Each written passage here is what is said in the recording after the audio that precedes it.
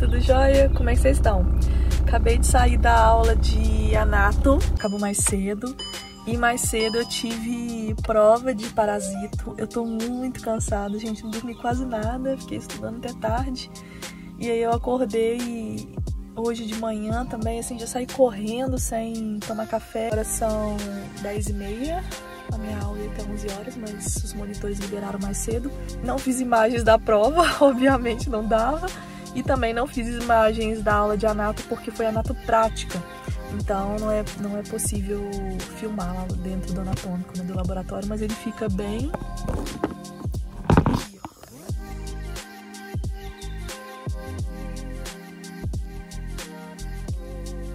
Tô pensando, eu ia almoçar aqui, mas eu tô pensando como acabou mais cedo, eu vou pra casa agora, eu vou almoçar, eu não sei se eu vou almoçar ou se eu vou tomar café, na verdade, acho que eu vou tomar café, comer coisas de café, né, que eu prefiro mais coisas de café do que de almoço, gente. Pois eu volto pra aula, porque aí eu tenho aula à tarde de anato teórica, mesmo assunto da prática, só que na prática a gente vê no cadáver e na teórica ele mostra lá nos slides, né, dá toda uma explicação, faz desenhos no quadro, e é mais tranquilo de mostrar imagens para vocês. Em seguida, eu vou ter aula de microbiologia, tem um tempão que não tem essa aula, mesmo antes da greve, assim, tava meio paralisado, porque é uma matéria que tem, depende muito de aula prática, e aulas práticas estavam prejudicadas aí por conta da greve dos TAIs, que dos técnicos administrativos, que acabou. Então eles estão voltando hoje, isso significa que já tem ônibus circular aqui na universidade, é, funcionando, tem bibliotecas abertas, graças a Deus, e tem também essas aulas práticas que vão ser retomadas aí, que eu pretendo mostrar para vocês aí ao longo dos dias em breve. Bora lá então, a gente vai conversando sobre algumas coisas aqui, gente, que eu acho legal falar com vocês. Gente, agora essa segunda parte da matéria de anato, eu estou estudando sistema genital feminino e sistema genital masculino. E é muito legal que as, as disciplinas na, na medicina, elas são bem integradas. Então, assim, antes da greve, a gente estudou, por exemplo, coração. Então, a gente estudou a histologia do coração em histologia. Aí a gente estudou a anatomia do coração em anatomia. De acordo com cada disciplina, a gente foi abordando aquele tema. No segundo período, o foco foi neuro. Agora, é, para o terceiro período, o foco é coração, sistema genital feminino e sistema genital masculino, que esses dois últimos a gente está vendo agora no pós-greve. E, gente, é muito, muito legal, muito lindo de ver. Pena que eu não posso mostrar para vocês é, imagens. Eu vou tentar pegar alguma coisa no Google né, e colocar uma imagem pública, mas eu não posso tirar foto é, de peças do anatômico por uma questão também e de respeito, né? Mas é muito lindo, gente. Queria muito mostrar para vocês como, como a gente é lindo por dentro. Uh, principalmente o, o sistema genital feminino, né? O útero, ah, é a coisa mais linda. Assim, tem muita artéria para gravar, muita coisa para gravar, mas aí agora tem que estudar, né?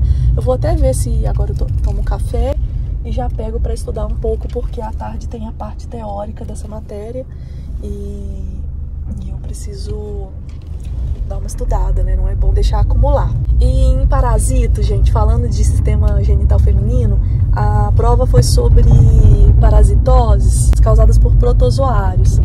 E aí foi muito interessante que uma das questões da prova, a gente tinha que escrever um caso clínico. Gente, pensa que para mim que sou da humanas, né? Gente, eu criei uma fanfic, criei uma história, assim, muito engraçado. Né? Agora eu tô pensando aqui no caso clínico que eu escrevi e foi muito engraçada. Tá um dia tão bonito aqui que eu vou mostrando para vocês também a, um pouco da UFJF aqui, enquanto eu conto para vocês esse caso clínico que eu tive que descrever. Uma das questões era para você escrever, uma questão aberta, para você descrever um caso clínico relacionado à tricomoníase.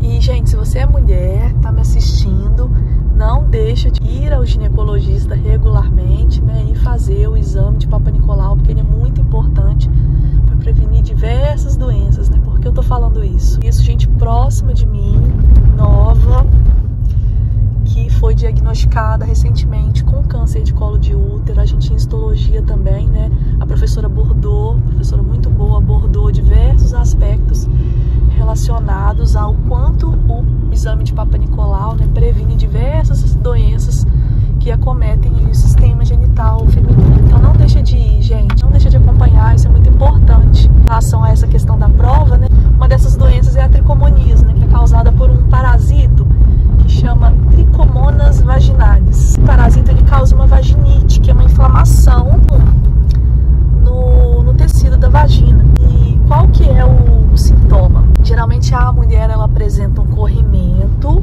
que pode ser de cor amarela ou pode ser de cor branca. É, de branco a amarelo. Ele pode ser mais esbranquiçado, ele pode ser mais amarelado. Mas o que, que é importante para Né? Tem diversos quadros de vaginite e que são causados, o vaginite é a inflamação, né? E que são causados por diversos agentes é, patógenos, ou seja, diversos motivos aí que levaram a, a, a, determinada doença. Mas no caso da tricomoníase em si, causada por esse protozoário que eu falei com vocês, sintomas mais comuns, esse corrimento, né, que pode ser aí de cor branca ou amarela, dor a urinar, que a gente chama de disúria, e também prurido, né, a famosa coceirinha, então, às vezes você tá ali com aquela coceira, né? Nem sempre é cândida, né? Que é causada por fungo. Você pode estar tá também com um protozoário, que é a tricomonas vaginalis. Mas aí qual foi o caso clínico que eu, que eu criei lá, gente? Falei que uma paciente do sexo feminino de 23 anos, coloquei MA, são as iniciais do meu nome, mas não sou eu não, tá, gente? Até porque, né, já passei dos 23 anos tem tempo.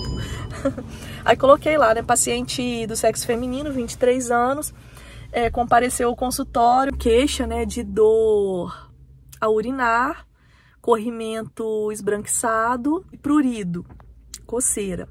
É, a paciente relatou que ela havia terminado um relacionamento. Aí eu comecei a viajar, gente, olha só. Havia terminado um relacionamento abusivo recentemente e que queria aproveitar a vida. Coisa muito comum, né? Às vezes a pessoa vai termina um relacionamento, ah, agora eu vou aproveitar. E que ela estava indo muito, muito em festas e que nos últimos dois meses ela havia é, tido relações sexuais com diferentes parceiros sem a devida proteção, sem utilizar camisinha. Começou a sentir esses sintomas e ela foi até o médico, né, gineco, até a médica ginecologista, porque ela estava realmente preocupada. Foi feito o exame e detectada ali, né, trofozoitas, que é a forma biológica que geralmente aparece no exame de detecção aí do parasito. E aí ela foi tratada, né, coloquei lá os detalhes. E, mas a médica alertou ela, né, sobre os perigos da contaminação, né, de, por, por esse parasito, porque ele aumenta muito a chance também de você ser infectado com HIV. E agora, aproveitando aqui, né, que eu coloco meus vídeos no YouTube e acaba alcançando aí um grande número de pessoas, não necessariamente que convivem aqui perto de mim. Gente, não deixa de ir no ginecologista, tá? Não soubessem o quanto é, de doenças, né, que a gente está sujeita, a gente, principalmente mulher, sabe? E que são facilmente e que são facilmente preveníveis com sexo com proteção, né? quer aproveitar a vida, mas faz sexo seguro, né? Sempre com camisinha. São várias doenças, mas no caso da tricomoníase, que é o assunto aqui em questão, né, da minha prova, é, a transmissão ela pode ocorrer por por contato sexual, né, relação sexual sem proteção, logo ela é considerada aí uma IST, uma infecção sexualmente transmissível. Além da transmissão sexual, você pode pegar também a tricomonias através de compartilhamento de objetos íntimos, tão contaminados com a forma biológica do parasito, né, que são os trofozoítas. Então, fico alerta aí, né, gente? Muito cuidado, procure seu ginecologista, né, se você tem muito tempo aí que você não vai, né, não deixa de acompanhar e não deixa também de se cuidar, viu? Nossa saúde é, é muito importante, né, é o que mais conta. Mas chega de falar, né? Eu tô assim com uma cara de sono que vocês devem estar até achando estranho, mas eu tô muito cansada, gente. Talvez eu eu vou comer alguma coisa aqui, vou ver se eu estudo um pouco, se eu não aguentar, talvez eu tire um cochilo. Até a próxima aula eu vou ter aí mais umas duas horinhas e daqui a pouco eu volto para a universidade. Chegando em casa aqui, tadinha da minha plantinha, toda abandonada, tadinha. Vou jogar um pouquinho de água nessas bonitinhas aqui. Com essa correria aí de aula, eu nem tô dando atenção para as minhas plantas. Vocês podem achar maluquice, gente, mas assim, eu amo planta, converso com elas, cuido muito bem delas e elas sentem. Então, sempre procuro dar atenção para elas. Aí vou aguar um pouco ela aqui. Gente, eu amo planta. Amo, amo, amo, amo. Só não tenho mais porque meu marido fala que se eu trouxer mais planta pra casa vai ficar parecendo uma floresta aqui. Mas por mim eu só ficava, lotava a casa de planta mais ainda, porque elas renovam energia, sabe? Eu amo, amo, amo. Gente, essa aqui, lembra que eu falei com vocês em um vídeo anterior, aí, um Mad Vlog, eu acho que foi antes da greve que eu comentei, que eu tinha pegado uma muda na universidade, me enfiei lá no meio do mato e peguei uma muda de costela de Adão e plantei. Olha só, é essa aqui, gente. Olha que linda que ela tá.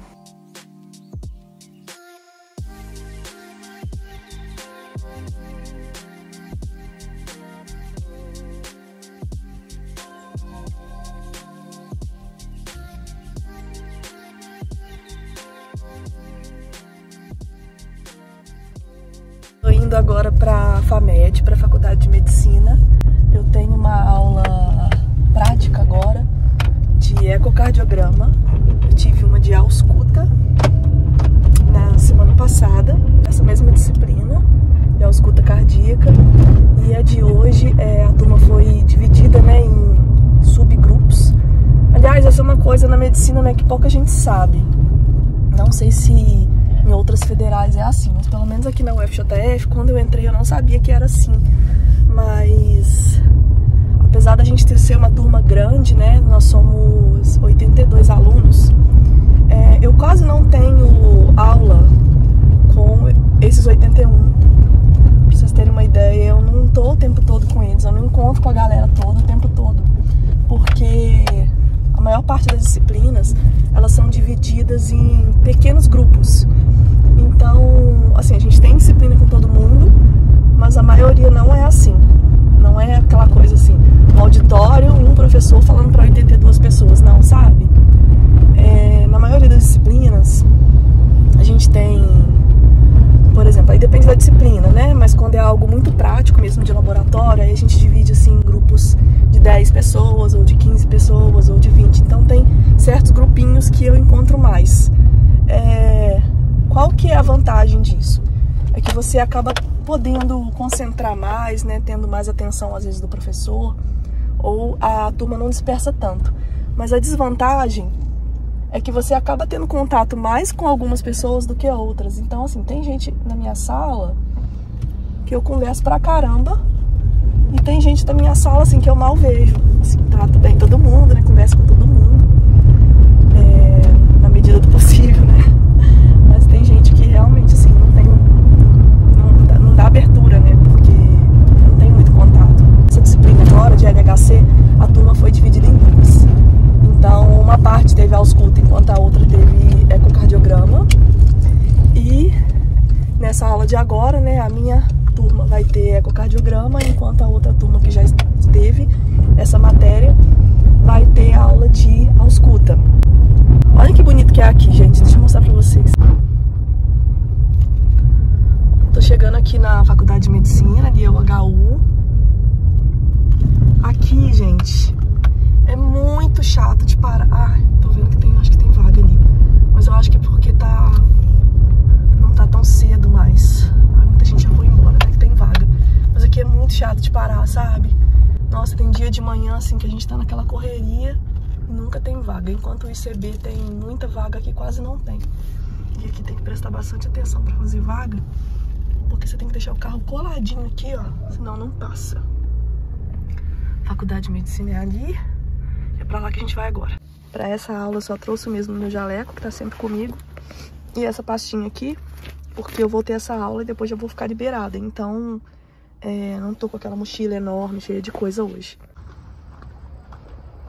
Aqui é super bonito, ó, na área que foi construída a Faculdade de Medicina, a gente tá fora do campus campus da UFJF é próximo, mas assim, dá até pra ir a pé, mas é um pouquinho longinho, né, pra ir a pé. Acho que é uns 15 minutos andando.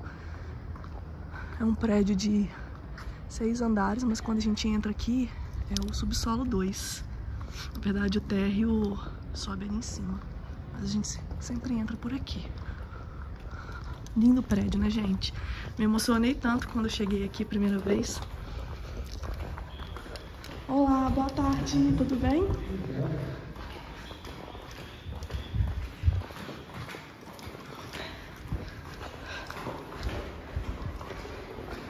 Eu sempre opto por subir as escadas, subir de escada. Raramente eu pego o elevador. Pessoal da minha sala tá sempre no elevador, né? Galera mais nova. Mas eu não sou tão novinha mais. Que puder fazer de atividade física, né, gente? Mexer o corpo. É bastante lance de escada. A aula é no terceiro andar. Como eu tô em cima da hora, não vou conseguir mostrar pra vocês algumas das estruturas agora, mas depois eu vou voltar. Mas aqui nesse andar, ó, tem até uma plaquinha ali. Tem biblioteca, já fiquei sem fôlego. Biblioteca, cantina, o DA, que é o diretório acadêmico, e a atlética. Que muitos de vocês me perguntam, né? Essa linha da atlética, mostra e tal. Não gosto muito de ir lá não, sabe? Não me sinto assim tão acolhida lá não. Confesso pra vocês. Assim, não sou é, muito. Aqui mais nesse andar tem um auditório. Não me sinto tão à vontade lá não. Quando tá aquele monte de homem lá, um monte de gente. Mas de vez em quando lá tá vazio. Tem uma cafeteira lá pra fazer café de cápsula. Tem uma mesa de sinuca. Tem ping-pong. Aí de vez em quando eu vou lá. Não, cansei. Tô aqui no terceiro andar, aula é aqui. Aqui nesse último andar só tem sala de aula. Tem os banheiros, bebedouro. Pra lá tem aula. A estrutura aqui é bem novinha, gente. Bem... o tipo de sala de aula. É bem diferente da, dos prédios antigos lá da universidade dentro do campus, né? Das faculdades dentro do campus, que esse prédio aqui é mais novinho.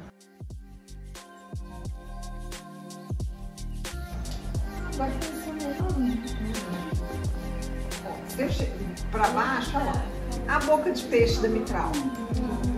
Lembra que tem a descrição de uma boca de peixe? Então eu tô te contando agora. Ó, abre, fechou.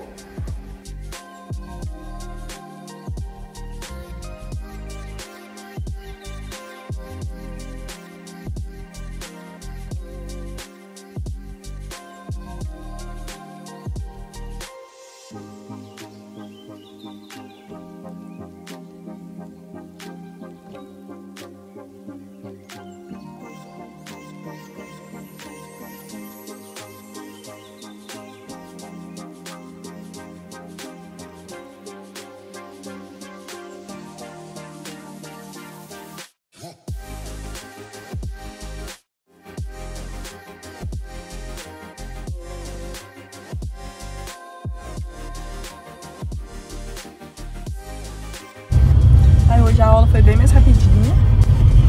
Já tô liberada. São 5 e meia, mais ou menos, deixa eu ver, 5 e 25. Eu vou chegar em casa, vou dar uma estudadinha que eu tenho prova de imuno. E a matéria tá muito acumulada, tanto de imuno quanto de fisiologia. São as coisas que eu mais preciso estudar. Na verdade, eu preciso estudar tudo. Mas medicina é assim, a gente nunca acha que estudou o suficiente porque tá sempre tudo muito acumulado mas eu preciso priorizar a prova, que é de novo primeiro. É, gente, olha que lindo o sol. Deixa eu mostrar pra vocês.